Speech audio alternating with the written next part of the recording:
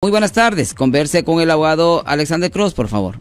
Ah, sí, buenas tardes, abogado. Mire, este, puesto en escuchar, es la primera vez que los escucho yo aquí en la radio. Sí, señor.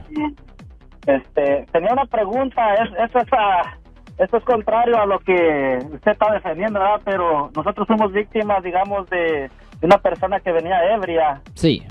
y pues de ese accidente, pues yo no fui a parar al hospital con dos fracturas en la espina dorsal. Sí, señor. mi esposa con dos, tres discos en la nuca desviados y dos en la espalda.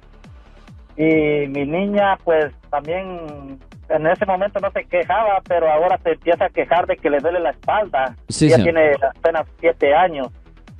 Eh, hemos mirado a algunos abogados, pero pasa, nos dicen déjenos la información y pasan dos, tres meses y nos llaman, ¿sabe qué? No podemos representarlos Sí. Y pues hasta el día de hoy pues nosotros no sabemos este digamos en sí nosotros seguimos o sea yo pa- pasé por una cirugía de, de cerebro porque supuestamente me- en la noche del accidente me detectaron un, un tumor en el cerebro. Sí, señor. y pero hasta hoy digamos los daños causados no fueron no, no han sido re- reparados digamos no no recibimos ninguna compensación de las aseguranzas. La persona que iba ebria no tenía aseguranza y pues mi pregunta es qué se puede hacer en este caso usted sabe algo Ok, la cosa es esto. Am, la persona fue arrestada, ¿correcto? sí eh, tenía DUI Sí, no, yo, yo sé eso. ¿Y la persona fue encontrada ya culpable de la ofensa? Ah, en realidad, pues no sabemos nada porque los abogados no nos dieron ninguna información. Solamente el, la- el, digamos, el reporte que hizo el policía lo declararon culpable a él de todo. No, no, en los reportes, pero la cosa que es necesario saber lo cómo terminó el, el caso en la corte criminal. Por ejemplo, ¿en cuál ciudad pasó esto? Aquí en el, en el condado de Santa Clara, Ok, en View, California. ok, eso es posible que lo mandaron ese caso a la corte de Palo Alto, se escucha. So, la cosa es esto. Primero es necesario saber si la persona, si el caso todavía está pendiente o si la persona ya fue encontrada culpable de la ofensa. Ah, de preguntarle, ¿en cuándo pasó el incidente?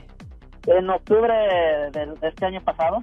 Ok, es posible que el caso todavía no sea resuelto. Ah, esa es la realidad de la situación. Porque cuando el caso penal termine y si lo encuentran culpable o si él se declara culpable de la ofensa, la corte va a ordenar que pague restitución, que pague los daños de lo que usted y, y el resto de su familia sufrieron.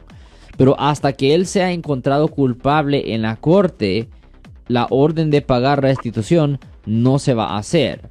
Usted debería de guardar contacto con la oficina de los fiscales allá en Palo Alto, porque la oficina de los fiscales, ellos son los abogados que les presentan cargos penales a las personas que han sido arrestadas por conducir bajo la influencia.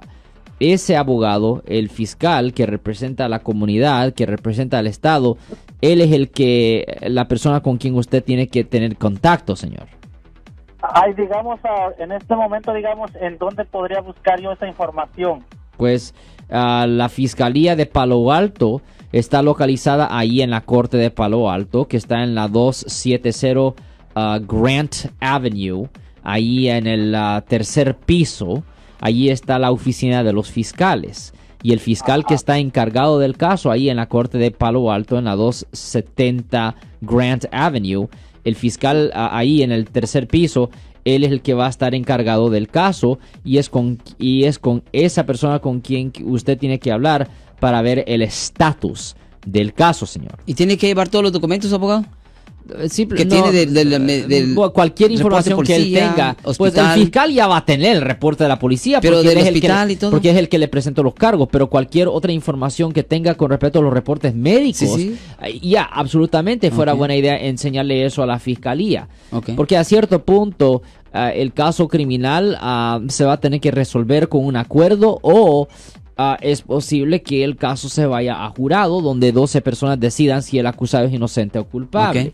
Pero la cosa es que el fiscal es el abogado que representa al Estado y es con ese abogado que una víctima de un delito tiene que hablar. Ok, gracias mi estimado. Ah, ahí estamos, eh, Fortino. Eh, anote el teléfono del abogado Alexander Cross también usted. Cualquier situación o por cual- cualquier circunstancia, 1-800-530-1800. Yo soy el abogado Alexander Cross. Nosotros somos abogados de defensa criminal. That's right. Le ayudamos a las personas que han sido arrestadas y acusadas por haber cometido delitos. Si alguien en su familia o si un amigo suyo ha sido arrestado o acusado, llámanos para hacer una cita gratis. Llámenos para hacer una cita. Ese número es el 1-800-530. 1800. Estamos aquí en toda la área de Bahía. 1-800-530-1800. Y como siempre, por casos criminales, casos penales, damos la primera cita gratis en nuestra oficina. Siempre estamos aquí todos los martes y viernes a las 12 y 35 respondiendo a sus preguntas con respecto a los casos penales. Y también nos pueden hacer preguntas en nuestra página de Facebook Live. Doctor Alex, abogado de nuevo, 1-800-530-1800, Marco. Bueno, vamos a llamada telefónica, pero ya fuera.